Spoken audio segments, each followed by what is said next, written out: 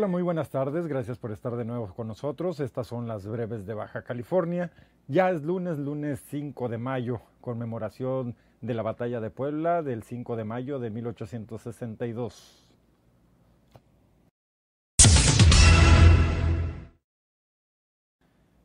Bueno, como lo estábamos diciendo hace unos momentos, pues bueno, el 5 de mayo es la fecha en conmemoración de la batalla de Puebla que marca la primera vez que el ejército mexicano pudo derrotar a una potencia extranjera mejor preparada. Esto es en el caso de los franceses. La batalla tuvo lugar en la ciudad actual de Puebla de Zaragoza el 5 de mayo de 1862 entre los ejércitos de México y Francia. Bueno, así que fue en abril de 1862 los franceses desembarcaron en Veracruz, en la ciudad de Veracruz, y emprendieron la campaña militar hacia el centro de la República. La primera batalla importante tuvo lugar en Acutzingo, que es una población que hoy día todavía se llama así y está en el límite entre los estados de Veracruz y Puebla. El héroe de la batalla de Puebla fue el general Ignacio Zaragoza, por el cual lleva el nombre agregado a la ciudad de Puebla. Y en el informe el general Zaragoza rindió que rindió sobre la batalla de Puebla al presidente de la República Mexicana en aquel tiempo, Benito Juárez, fue breve y significativo, ya que decía nada más. Las armas nacionales se han cubierto de gloria, las tropas francesas se portaron con valor en el combate y su jefe con torpeza. Pues bueno, y hoy en conmemoración del 5 de mayo, fíjese que hay países como en Estados Unidos que alrededor de 33.6 millones de habitantes de ese país tienen herencia mexicana, según el último censo estadounidense, donde esta fiesta eh, reúne a más de 300 mil personas en ciudades como Nueva York, Denver y Houston, donde también hacen grandes fiestas con motivo al 5 de mayo. También se informa que aproximadamente el 5 de mayo es la fecha donde más, más cantidad de aguacate se consume. Los estadounidenses consumen hasta 81 millones de aguacate eh, este día, de acuerdo a la Comisión del Aguacate en California. Y esto pues es por para realizar el famoso platillo mexicano conocido como guacamole. Bueno, y ya pasando a otras cosas, fíjese que durante los primeros cuatro meses de este 2014, las denuncias al 089 sobre extorsión telefónica en el Estado tuvieron un decremento del 10%. Esto lo informó el secretario de Seguridad Pública del Estado, Daniel de la Rosa Anaya.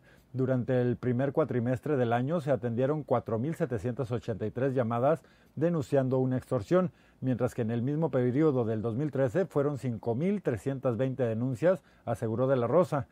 Eh, del total de llamadas atendidas en los diversos centros de C4 en la entidad, el 49% corresponden a la ciudad de Tijuana, el 33% a Mexicali, el 10% a Ensenada, el 5% a Tecate, y el 3% a Rosarito. Las modalidades más frecuentes es la de un familiar secuestrado, eh, seguida por la de un familiar este, detenido en la aduana y por último son fraudes como sorteos o rifas existentes. El secretario de Seguridad Pública indicó que gracias a la confianza que la ciudadanía ha tenido a Seguridad Pública, ha reportado dichos casos en el Centro Estatal de Denuncia Anónima, y se ha venido y se ha evitado ganancias para los delincuentes de casi 13 millones de pesos en el presente año. Bueno, y en un tema que hemos venido hablando ya desde la semana pasada, fíjese que al entrar, pues ya, ya entró hoy la nueva ley de verificación vehicular, así que ya se acabó la prórroga, entonces ya es obligatoria. Y al entrar de nueva cuenta la, la obligatoriedad de realizar la verificación vehicular para el canjeo de placas o renovación de la misma. O la tarjeta de circulación, Adrián Flores Sosa reiteró estar interesado en que talleres locales puedan convertirse en verificentros. El presidente de la Canacintra aquí en Mexicali comentó que ya se tuvo una reunión con el presidente del Congreso, René Adrián Mendívil Acosta, para dialogar sobre el tema se está revisando la necesidad de abrir la convocatoria de licitaciones de los verificentros para que se pueda transparentar e incluir a capital local. Esto lo expresó en la reunión. Tienen este, que existir la voluntad por parte del Poder Ejecutivo y para poder reabrir el tema de las licitaciones y crear una nueva convocatoria. Detalló que durante los últimos meses Canacintra se acercó a los talleres para conocer quiénes estaban interesados y quiénes podrían participar en dicha licitación, con el afán de sumar el servicio ya de los que están prestándose este nuevo servicio de verificación vehicular. Sin embargo, Flores Sosa señaló que se han tomado en cuenta ya las agencias de automóviles nuevos o vendedores de llantas que también podrían sumarse a las licitaciones. Mire, mediante un comunicado, la Secretaría de Educación Pública informó de dos controversias constitucionales interpuestas a los estados de Zacatecas y Baja California. El motivo, pues bueno, señala es por contravenir algunas disposiciones de la Constitución, las leyes reglamentarias correspondientes y al espíritu de la reforma educativa. En el caso de Baja California, el Poder Legislativo aprobó la ley del servicio profesional docente eh, de la entidad, invadiendo gravemente las facultades que le atribuye la Constitución al Congreso Federal en todo el país. Se añade que lo que busca el Ejecutivo es declarar la invalidez de las normas locales por ser inconstitucionales. La finalidad de la controversia es obligar al Poder Legislativo de la entidad a emitir sus legislaciones en materia educativa, conforme a lo que establece la Constitución del país. Por otra parte, el gobierno del Estado, la tarde del viernes, emitió un comunicado donde brinda su posicionamiento eh, contra la controversia interpuesta por el Ejecutivo Federal. El primer lugar informa que hasta el momento el Poder Ejecutivo de Baja California no había sido notificado respecto a la citada controversia.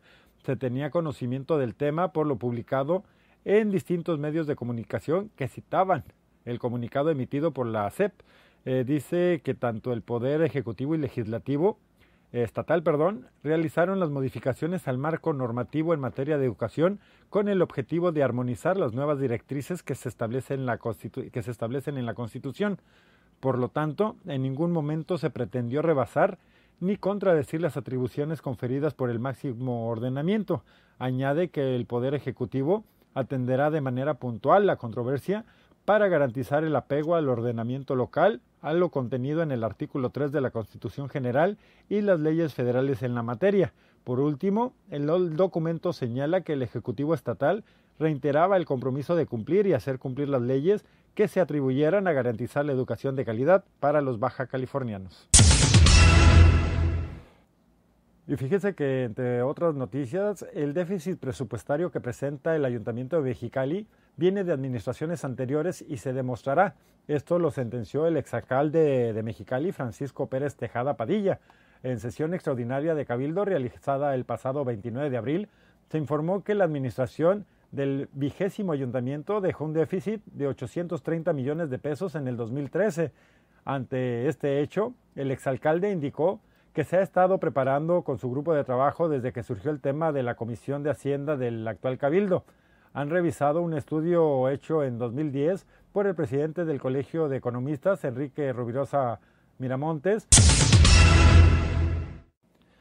Y mire, en el ramo nacional, el presidente Enrique Peña Nieto inaugurará la 39 edición del Tianguis Turístico de Quintana Roo 2014, acompañado por la secretaria de Turismo, Claudia Ruiz Macié, y el gobernador de la entidad.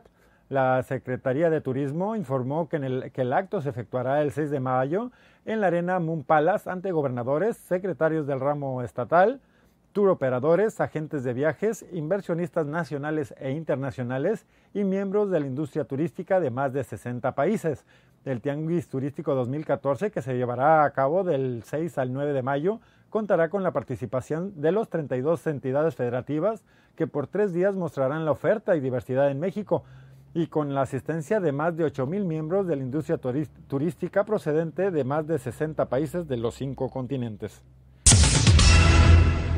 Bueno, y por último, fíjese que las temperaturas aquí eh, en la ciudad de Mexicali, pues bueno, ya no estarán tan altas como el día sábado que llegaron a los 40 grados centígrados, ya van un poco hacia abajo. El día, la temperatura máxima del día de hoy se pretende que sean 36 grados, de los cuales pues ya estamos bien cerquitos porque ahorita son las 2.19 de la tarde y ya estamos a 34 grados centígrados, nos faltan 2 grados para llegar a la máxima. Si usted viaja a Caléxico, a Estados Unidos, pues bueno, En la garita de Nuevo Mexicali hay dos puertas abiertas, el tiempo de espera aproximado es de una hora. En la Ready Line es de 45 minutos y las líneas entre cero. Si usted cruza hacia Calexico eh, por Mexicali, por el centro, pues bueno, hay ocho puertas abiertas. El tiempo de espera aproximado es de una hora con 45 minutos. Eh, el peatón tiene una hora con 40 minutos también aproximadamente. La Ready Line hay tres puertas abiertas, aproximadamente el tiempo de espera es de 30 minutos. Y la línea Sentry eh, hay dos puertas abiertas y aproximadamente usted tardará 10 minutos en salir de la República Mexicana para internarse en Estados Unidos.